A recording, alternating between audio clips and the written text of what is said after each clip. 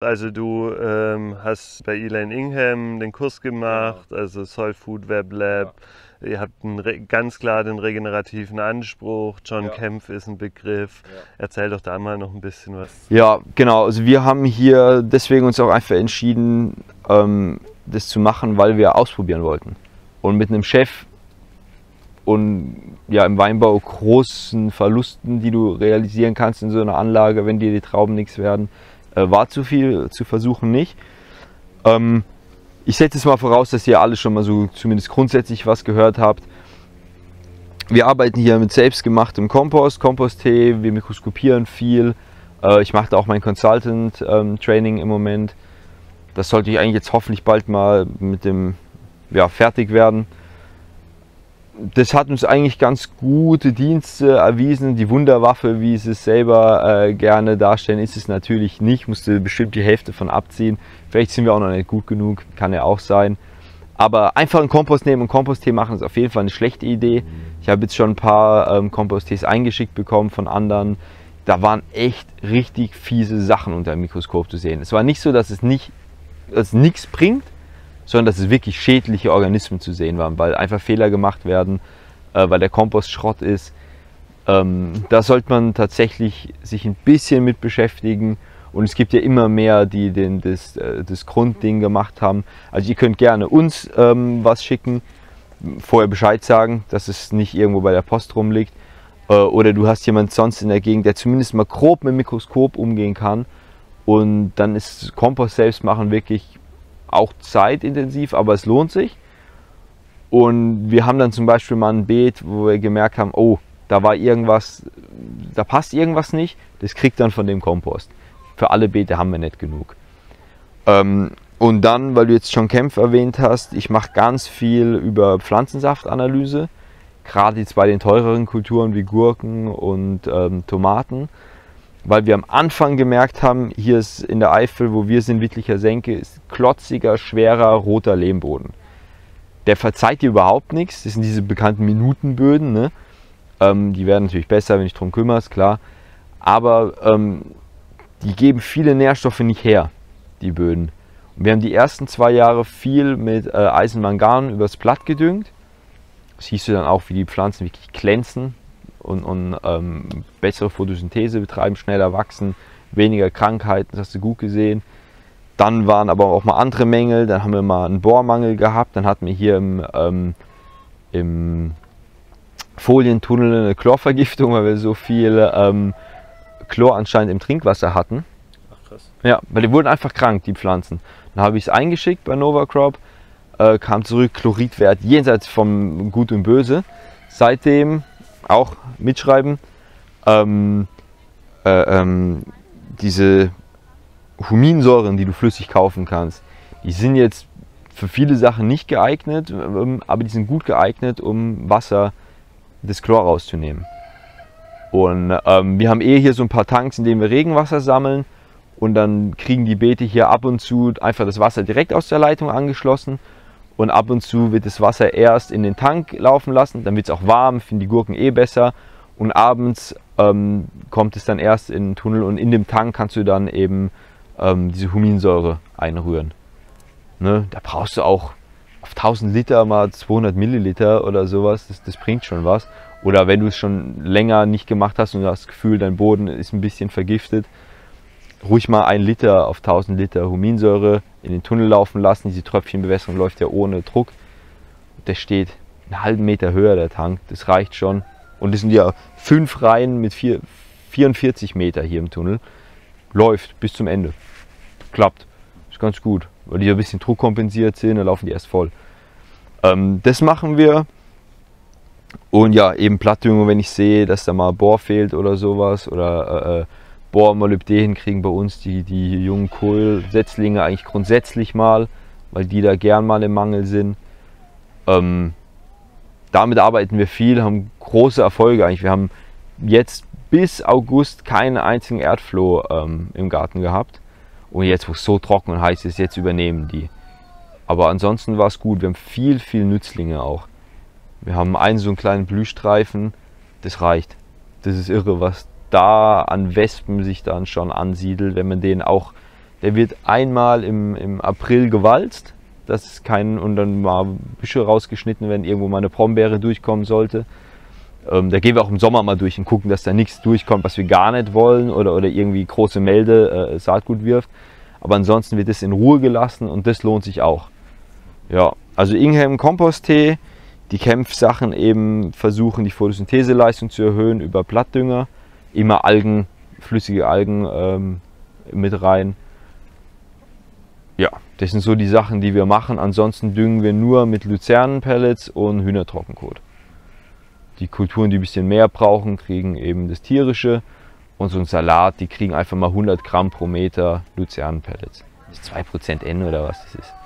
Das ist eher, dass das Bodenleben wach bleibt. Oder im Frühjahr überhaupt schneller wach wird. Aber die Kultur wird damit ja nicht gedüngt, kaum zumindest. Ähm, hattest bei den Gurken, die hier jetzt raus sind, hattest da äh, Analysen gemacht? Also weißt du, was da im, in der Imbalance war? Ja, da haben wir vor ähm, längeren Analysen gemacht. Da war noch alles in Ordnung, aber wir haben die einfach zu eng gepflanzt dieses Jahr. Und die hatten dann tatsächlich alle ähm, schon, als ich das letzte Mal gemessen hatte, ähm, kein Nitrat. Also das ist immer gut. Aber auch die ansonsten äh, Stickstoffwerte einfach waren viel zu niedrig. Also die sind mehr oder weniger verhungert. Und dann wurden sie anfällig. Und jetzt haben wir hinten nochmal 40 Pflanzen oder so einen neuen Satz gemacht. Ähm, da kam einfach viel mehr ins Pflanzloch rein. Da haben wir zu eng gepflanzt, zu wenig Futter ins Pflanzloch. Einfach, ist übertrieben im Engpflanzen. Mal ausprobieren wollen und hat halt nur mäßig geklappt. Wir haben okay geerntet, dass wir damit Geld verdient haben, aber die hätten auch gerne noch drei Wochen stehen können. Hätten wir uns auch gefreut. Laufen wir ein bisschen rum. Können wir machen, ja. Wann habt ihr denn die Tomaten gepflanzt? Wir pflanzen immer erst hier in KW 20, weil wir echt saukalt manchmal noch haben. Ähm, und hier haben wir dieses Jahr auch ja, mal wieder ein bisschen zu viel experimentiert. Wir wollten halt sehen, wie gut unser ähm, Bodengefüge schon ist und haben im Winter hier, die Folie ist ja unten, es regnet ja hier nicht rein, aber das Wasser von den Seiten zieht bis in die Mitte. Hier ist alles nass gewesen. Also hier die Winterniederschläge waren da. Und dann haben wir, ich weiß jetzt die, die KWs nicht mehr, aber ähm, ja, irgendwann Anfang März, Ende Februar den Tunnel voll gepflanzt, einmal angegossen und haben gesagt, so, und die gießen wir jetzt nicht, weil die sollen mit dem Wasser mitwachsen. Das gab riesen Fenchel, tolle Salate, alles richtig toll. Nur danach war der Boden echt trocken.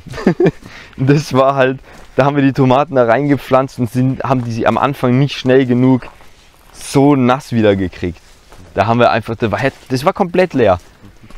Ähm, und deswegen waren die am Anfang ein bisschen langsam. Aber jetzt sind sie eigentlich, ja, jetzt produzieren sie schön, hängt gut was drin. Hier hinten sind so ein paar alte Sorten, mehr oder weniger für den Eigenbedarf nur. Ähm, weil wir hatten keine Lust zu viel zu experimentieren dieses Jahr und die Leute streiten sich sonst auch um die schönsten. Ochsenherz wollen sie an alle und davon produzierst du ja nicht so viel. Deswegen für die Kunden gibt es jetzt nur noch eine Sorte, ganz klassische rote Tomaten, nichts nix Wildes. Genau, ein bisschen äh, Tagetes mal dazwischen gepflanzt, Ringelblumen, weil es schöner aussieht und weil es dem Boden gut tut. Und weil wir hier die ersten Jahre extrem viel Ärger mit ähm, Drahtwürmern und sowas hatten. Und dann wollten wir einfach, dass das Bodenleben weiter gefüttert wird, dass da die Antagonisten genug da sind. Hat sich das ein bisschen relativiert? Komplett. Wir haben, wir haben, letzt, wir haben letztes Jahr noch teilweise die Hälfte der Beete verloren bei Salat. Und dieses Jahr haben wir, glaube ich, im ganzen Jahr zehn Köpfe verloren. War echt gut. Also Drahtwurm auch sowas. Einfach immer wieder, du musst sie töten, du musst sie raussammeln und aushalten und die kommen dann auch nimmer. Die sind irgendwann einfach weg. Also ihr seid immer her, wenn ihr gesehen habt, einen Salat schlappt, dann rausgezogen und der hockt in der Wurzel, genau. genau hockt der unten ja, dran. Ja. Sehr ärgerlich, also einerseits befriedigend, die Kerle zu zerreißen, äh, aber sehr ärgerlich, weil du halt echt immer mit dem Tod deiner Pflanzen dauernd konfrontiert warst. Ähm, aber wir hatten eh noch nicht genug Kunden. Es war okay. Wir haben die ganzen Salate noch nicht gebraucht. Jetzt, wo wir sie brauchen, überleben sie. Mhm. Genau, und hier siehst du mal so ein Beet. Da haben wir gerade die Woche die Möhren rausgeholt. Das ist einfach dann, das ist, diese Klumpen sind nicht, ja, nicht mehr einzufügen in ein Beet. Und ihr habt ja nie Kompost eingearbeitet, ne? Wenn man, wenn man das hier sieht, ich weiß nicht, ob es jetzt im Video äh, sichtbar ist. Ja, ich glaube, es ist besser. Aber das ist hier oben ist die Oberfläche. Mhm. Und hier unten, diese dunklen Einschlüsse, da hat der Wurm den Kompost von oben nach unten gearbeitet. Ne? Ja, und es geht ja relativ tief. Du siehst ja hier auch noch dunkle Einschlüsse im Genau, ja, wenn wir mal von hier schauen, ja. hier ist die Oberfläche, oder? Ja. Ja, genau. Und hier unten sind noch dunkle Einschlüsse. Nach 10 cm. Mindestens, ja. Ja. Klar, das ist jetzt super hart. Ja, hm? aber, aber trotzdem, also super hart, aber du siehst trotzdem die Feinporen, das, ist, das nimmt sofort wieder Wasser auf. Mhm, mh. Aber jetzt ist die Biologie natürlich hinüber. Ne? Ja. Also ich hoffe, dass sie einiges verkapselt hat und dann wiederkommt. Aber das meine ich mit so Beete, die dann wie eine äh, Gesundungskultur Feldsalat brauchen, weil es einfach, das ist nicht zu machen. Du musst die Möhren rausholen und dann liegt es halt so da. Und du, du kannst auch nicht rächen, so ein Klumpen. Das, das ist nicht mehr zu schließen, richtig. Ja, wir haben jetzt mal wieder äh, eine Ladung Kompost bestellt, die kommt dann nächste Woche. Dann machen wir vielleicht zumindest mal wieder eine Schicht drüber, dass es nicht, ja, jetzt ist eigentlich auch nichts mehr zu retten, aber dass die Sonne nicht weiterhin komplett draufknallt. Vom Ertrag her waren die Beete aber gut. Die haben wenig ähm, Bewässerung nach ihrer Jugendphase gekriegt und wir holen hier pro Beet ähm, Boah, ein Kilo weiß ich jetzt nicht, aber wir, wir bündeln die ja direkt und es ist ein schöne Bund, die Leute sind zufrieden. Ähm, zweimal 160 Bund von so einem Beet. Ja. Ne, 24 also Meter Beet. 24 Meter Beet. Zwei Wochen ernten wir da gut von und jetzt die den letzten Meter haben wir dann nimmer gebündelt, weil wir schon genug hatten, ist dann wieder für uns Privatbedarf nochmal 10 Kilo oben drauf oder sowas. Das ist echt teilweise, also wenn wir für den Winter ernten, ähm, zum Einlagern für uns selbst, was wir nämlich hier machen, also wir nutzen die ganzen, es sind 66 Beete insgesamt auf der Fläche, ähm, die nutzen wir gar nicht alle für den Marktgarten. Also einige sind einfach nur Eigenbedarf, weil wir, wenn du so tolles Gemüse den ganzen Sommer hast und dann im Winter wieder in den Supermarkt gehst, das, das machst du ja nicht gern. Ne? Ähm, und wir bauen dann halt viel an und lagern das für uns selbst. Und was davon zu viel ist, wird dann nochmal eben dieser freie Verkauf im Winter gemacht. Ähm, aber da kommen gut und gerne mal 4-5 Kilo pro Meter an Möhren runter. Ähm, vom Saatabstand, ja, Chengsieder siehst ja relativ eng und meistens mindestens 5 reich, manchmal 6 reich, aber so 4, 4, 5 Reihen sind meistens drauf. Und das ist jetzt eben in der Trockenheit gekeimt. Ne? Also da fehlen schon ein paar. Das könnte auch ein bisschen dichter nach unserem Geschmack sein, aber es ist trotzdem noch dicht genug. Ja, zur Bewässerung muss man dazu sagen, ne, ihr habt äh, Druckprobleme, weil ihr nur Stadtwasser habt. Das heißt, Und wir sind äh, Aussiedlerhof, wir sind die Letzten in der Leitung. Mhm. Wir merken zum Beispiel morgens um sieben, wenn die Leute duschen, geht der Druck hier runter. Das ist ein bisschen, ja, ein bisschen speziell. Und dann noch, wir teilen uns das Wasser ja mit Karl und Viviane, die ja auch ihre, also gerade Karl macht ja die Tiere, ähm, die ihre Kühe ja auf der Weide auch wässern müssen. Und wenn der Karl ein Wasserfass voll macht, dann kommt hier quasi nichts mehr an. Ja. Ähm, was aber Druck, mit wenig Druck noch läuft, sind die Tropfschläuche natürlich. Und wir haben, ähm, hier siehst du es ja von Netafilm ist das auch so ein Mikrosprinkler. Die nehmen wir immer zum Möhren, zur Keimen bringen. Der schafft vier Beete. Ja, und zwei Beete Möhren haben wir gern nebeneinander und die Beete nebendran, da wird dann auch eben wenn es klappt, eine junge Kultur hingestellt, dann sind die mitgewässert. Und da hast du halt keine Arbeit mit. Die machst du einfach nur an. Und wenn der Druck niedrig ist, wenn der Karl zum Beispiel Wasser zieht, dann reicht der Druck noch für die zwei Beete, die direkt nebendran sind. Und ja, die Möhren sind auch schön gekeimt für die Trockenheit. Voll.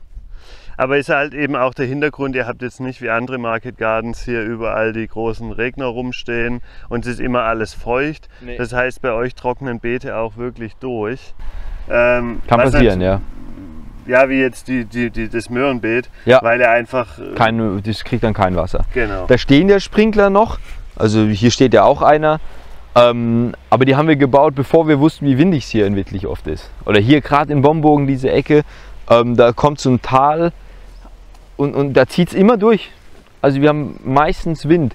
Es ist ja, wie du es vorhin sagtest, zum Arbeiten ganz nett, aber es trocknet halt noch mehr aus. und die Sprinkler kannst du eigentlich nur nachts laufen lassen. Ne? Und dann bringen sie dir auch nicht mehr so viel. Und wir haben trotzdem ja ein bisschen noch Ecken, wo es auch wirklich so schlimm trocknet, dass es Risse im Boden gibt. Da müssen wir halt noch weiter arbeiten. Das sind dann so Ecken, die dann unseren guten, selbstgemachten Kompost kriegen, wo wir auch unter Mikroskop sehen, dass da viel Leben ist. Die kommen dann da rein und ja, hoffen, dass die ihre Arbeit da machen, die Lebewesen. Das heißt hoffen, die machen es ja schon. Gell?